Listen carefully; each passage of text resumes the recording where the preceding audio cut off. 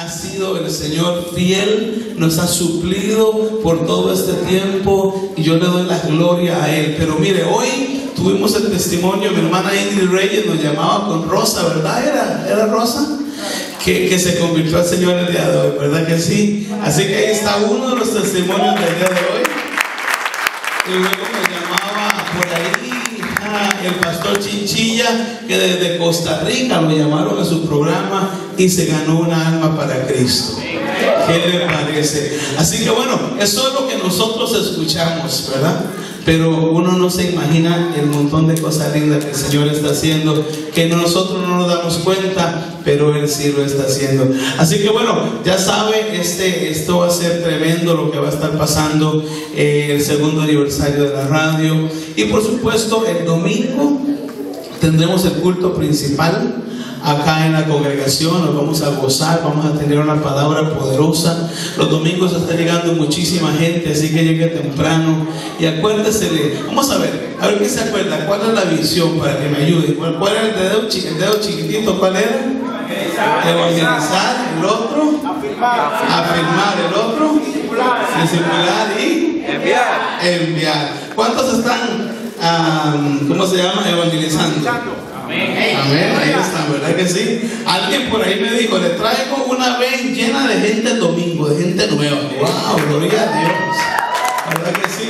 Pues sí, yo sé que sí, se están esforzando para hacer la obra de Dios y gracias mis hermanos por eso, porque se esfuerzan y Dios premia esa fe de cada uno de ustedes. Entonces, estamos este, trabajando en esta visión fuerte de lo que es la visión y vamos a estar trayendo una poderosa palabra. Así que no se pierda el domingo, amén. A las cuatro y media. Yo quiero que todos los hermanos que son líderes estén aquí a las cuatro y media. Por favor, amén. Todo el mundo a las cuatro y media acá orando en intercesión, porque a las cinco comenzamos el servicio. Amén. Y va a ser poderoso lo que va a pasar este domingo. Y también el día de mañana, el Rey. Mañana no hay culto de jóvenes porque van a estar. Sí, mañana sí hay. El ensayo. El ensayo. 72 horas. Así que si alguien se convirtió un domingo a las 4 o 5 de la tarde acá, tenemos el lunes, el martes, tenemos el miércoles para llamar, para buscar, para darle palabra de bendición. Y yo le agradezco a todos ustedes. Si usted trae a alguien, alguien trajo hoy invitado de los que están aquí nuevos, ¿quién los trajo? Usted trajo a mi hermano. Aleluya, qué, qué bendición. ¿Y quién trajo a mi hermano? Allá mi hermano la trajo a ella. Y a mi hermana Ramírez, dijiste. Rivera. La costumbre, ya la costumbre. Rivera, ¿y a ti te invitó alguien o viniste por la.? Ah, yo le invité. Gloria a Dios. Gracias, hermano.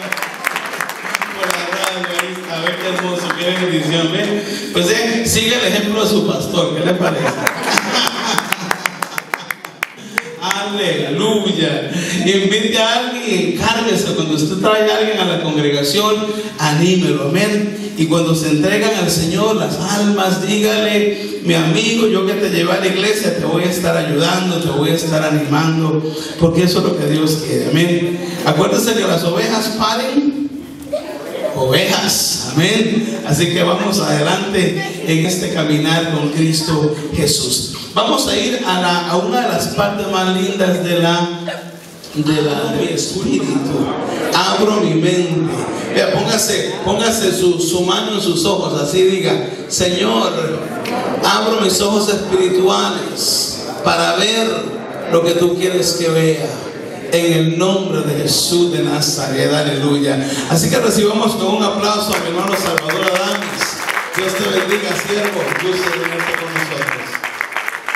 Te bendición, hermanos. Tome su asiento ya, por favor. Ahora le toca a ustedes sentado y a mí parado. Es que la Biblia dice que todo tiene su tiempo. ¿Verdad? Ahora es el tiempo de yo estar parado. Aleluya. Bien. Bendiciones. Dios les siga bendiciendo. Los felicito por el frío que tienen ustedes aquí en este país. Pero yo estoy casi volando. No lo aguanto, no. Ya tenía deseo de que el pastor me mandara a buscarla allí porque estaba Y más cuando uno es un poquito con esta pista siempre. Como que pica más. Yo les sigo bendiciendo. ¿Y cuántos se acuerdan de mí de lo que están aquí? El domingo 18 de marzo de este mismo año, Dios me trajo a su iglesia. Aquí tengo la fecha. Y dimos la conferencia titulada Soy un diezmero. Oh. Pero en esta noche yo quiero saludar a la familia pastoral, al Kiko, el hombre del gallopín. ¿Cuántos han ido a Costa Rica? Levante la mano. Yo le invito a que vayan. Aquí hoy porque quiero terminar la conferencia que no terminé con ustedes el domingo 18 de marzo. Y en esta noche yo quiero hablar acerca de un hombre llamado Jacob para que usted vea cómo Dios lo bendijo, cómo Dios lo prosperó, a dónde Dios lo llevó para bendecirlo y a quién Dios tocó, o mejor dicho, a quién Dios utilizó para bendecir un hombre llamado Jacob. Y la visita que está aquí esta noche que mencioné, no es una coincidencia que usted está aquí. Dios sabe cuál es el plan con ustedes que están aquí esta noche. Amén, hermano. Especialmente gracias a Dios que todos los que estamos aquí, creo que no estoy perdido en esto, somos, no, latinos. Y los que no son latinos son los bebés que ya han nacido aquí. Para que usted vea que cuando Dios va a bendecir a una persona, no mira distancia. ¿Cuánto creen eso? Porque la, historia de Jacob, ¿quién era Jacob? Un maleante, un tramposo, un mañoso, un mentiroso. En otra palabra, como los dominicanos, un ladronazo. Y después que se encontró con Dios, todo cambió. Todos, pero todos, todos. Cambió que vino a ser el hombre más rico del Oriente después que se encontró con Dios.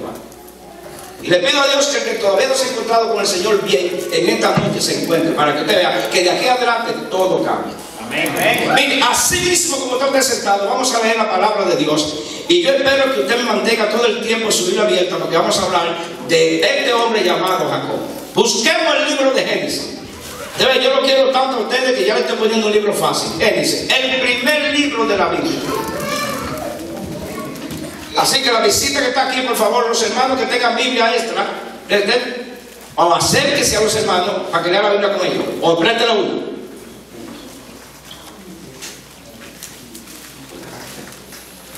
Y le voy a decir una cosita secreto aquí. El que puede comprar un buen celular puede comprar una Biblia. ¿Te gustó eso, verdad? Por ejemplo, si usted va a hacer un regalito a sus hijos para Navidad, hágaselo, pero regálale una Biblia. ¿Ya lo tenemos? Bien.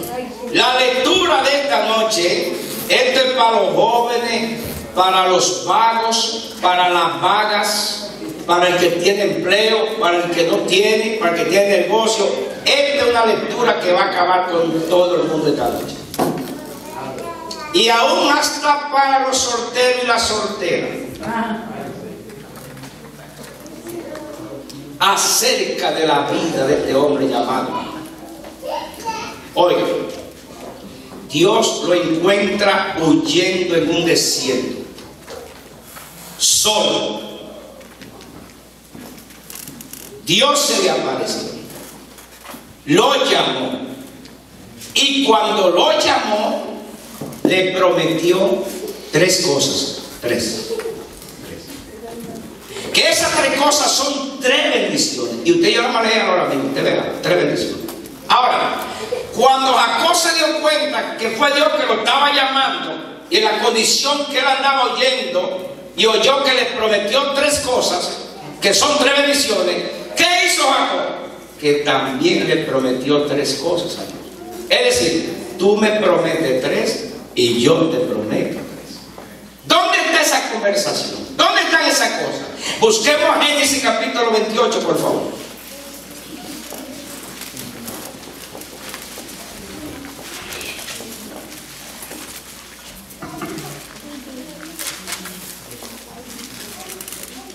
¿Ya lo tenemos? Amén. Vamos a tener la lectura de la palabra de Dios en cuatro versículos. Cuatro. Y las tres cosas que Jehová le prometió a Jacob están primeramente en el verso 15. Génesis 28, verso 15. Busque el verso 15. En el verso 15, ahí están las tres cosas que para mí, yo no sé para usted, para mí son tres bendiciones. ¿Cuáles son esas tres cosas? Primero, Dios le dice, he aquí, yo estoy contigo. Y yo creo que es una bendición cuando ya Dios está con uno. No te eso, hermano. Amén. Digo amén, hermano. Cuando ya Dios está con uno, es una bendición. Segundo, y te guardaré por donde quiera que fuere. Eso el Señor nos ha guardado en cualquier viaje que hemos hecho. Aleluya. Aleluya. Y especialmente cuando nos montamos en esos benditos aviones. ¿Qué decimos? Padre, que tú seas el piloto. Y cuando llegamos, ¿qué decimos? Porque dice, estoy vivo. Protección. Y tercero, y tercero, volveré a traerte a esta tierra.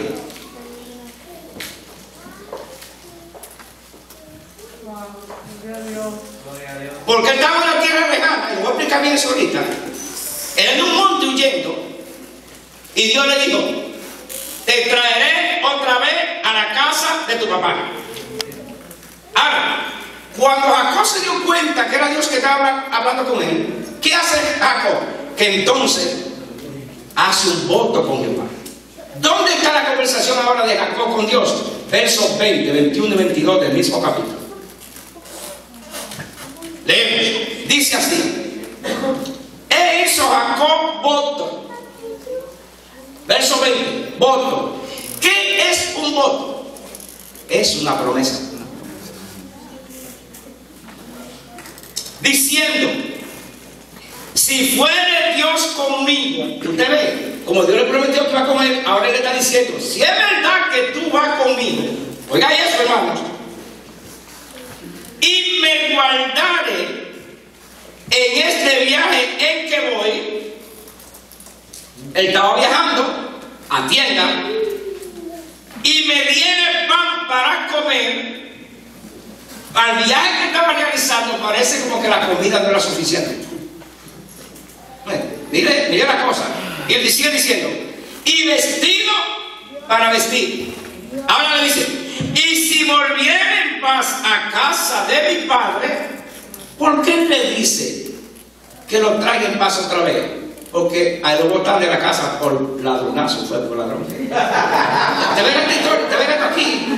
¿Te ven lo que es Dios, hermano? ¿Te ven lo que es Dios? Mire, porque él sabe que si, si volvía, esa iba a arrancar la cabeza y lo va a matar. Atienda. ¿Dónde que estábamos en el verso qué? 21. Dice, y si volviera en paz a casa de mi padre, primero, Jehová será mi Dios. Aleluya. Segundo, y esta piedra que he puesto por señal será casa de Dios. Y tercero, y de todo lo que me dieres, el diezmo apartaré Vamos a leer todo ahora el verso 22 en voz alta. Mire, coja fuerza en su pulmón. Y usted que alguna vez se habla duro en su casa, hable duro aquí esta noche ahora. A su nombre. Una, dos y tres. Y esta piedra que he puesto por señal será casa de Dios. Y de todo lo que me dieres, el diezmo apartaré para ti. Padre, incline su cabeza. Vamos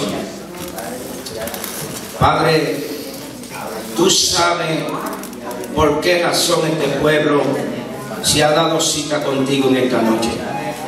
Aquí hemos escuchado tu voz a través del cántico y de alguna palabra de tu siervo el pastor y otra persona.